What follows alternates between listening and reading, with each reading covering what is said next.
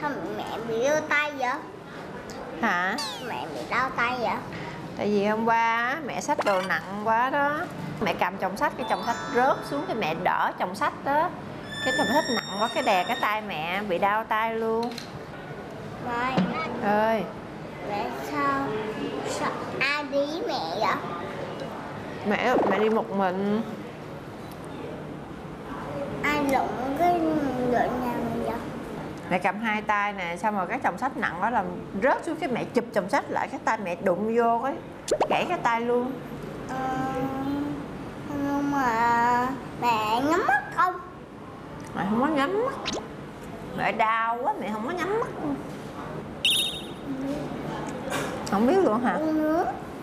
Cho mẹ cho uống nước.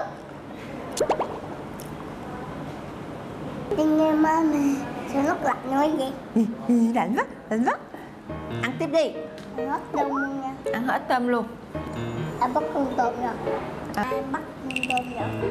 ai bắt hả người ta đi câu cá câu tôm ở dưới sông á cái rồi bắt con tôm lên con tôm nhảy nhảy nhảy nhảy nhảy nhảy nhảy nhảy nhảy, nhảy cái rồi bán cho cái nhà hàng ở nhà hàng chiên con tôm lên cái thợ ăn con tôm rụt rụt rụt rụt rụt ngon quá Cái xương vậy? cái con tôm thì có xương chứ Có hai cái càng nữa. tôm có hai cái càng không? Tôm bự có hai cái càng phải không? Con gì có hai cái càng nữa? Thỏ có hai cái càng không? Tay ở tay thôi. Có hai lỗ tay thôi hả? Đâu là lỗ tay đâu?